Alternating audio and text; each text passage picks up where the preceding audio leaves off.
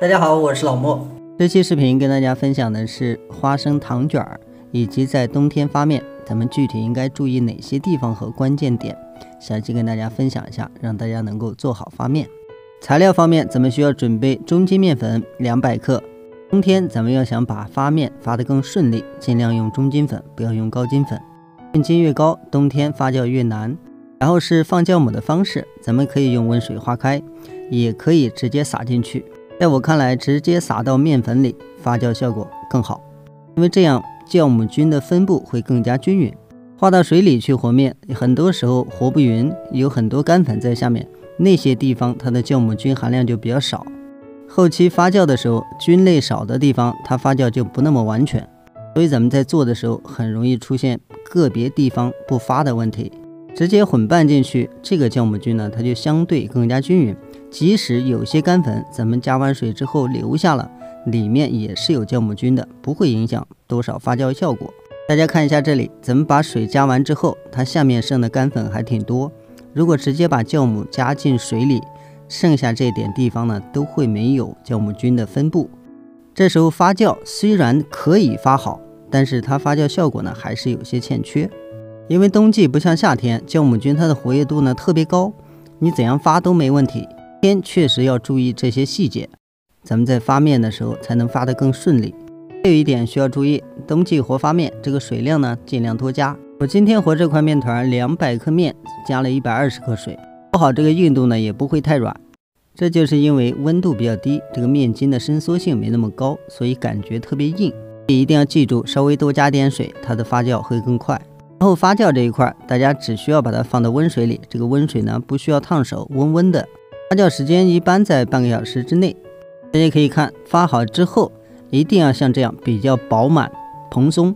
冬天气温比较低，发面一定要发旺，比稍微延长一点发酵时间没有任何影响，反而会让里面的酵母菌变得更加活跃，咱们第二次发酵的时候变得更快。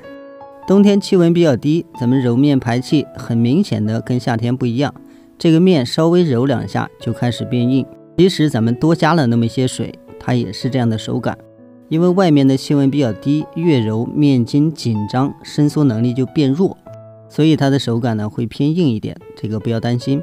然后咱们今天这个操作呢，需要用擀面杖来擀开。揉面也可以换成擀面杖，咱们直接用擀面杖擀开，然后再折叠起来，这样也能达到揉面的效果，而且比手工揉面更加紧实光滑。里面也不容易加气，所以咱们在揉面这一步也要特别注意，一定要给它压光、揉光。然后咱们面擀好之后，形成这样的大片儿就可以，这个厚度大概在五毫米。然后刷上一点油。下一步咱们要撒上熟的花生碎，这个花生碎呢，尽量给它打的细腻一点，花生尽量多一点，不要太少。然后上面再撒上一层白糖，这个白糖量呢不需要很多。多加一点花生，咱们吃的时候口感更香。最后，咱们从一头卷起，卷起的时候尽量给它卷紧，不要太松。如果卷得不够紧，发酵的时候呢，很容易出现垮塌、歪斜这样的问题。稍微卷得紧一点，它站的就会比较直，不容易垮塌。卷好之后，咱们也不需要搓，直接就可以这样把两边给它去掉，留出平面儿，然。后切出剂子，这个剂子大概在五十克左右。然后在中间位置稍微划一刀，不要太深，这样做能让它更快蒸透。做好以后，咱们夏天的话直接放在外面发没问题。像现在这个季节气温比较低，尽量给它放在温暖的地方去发。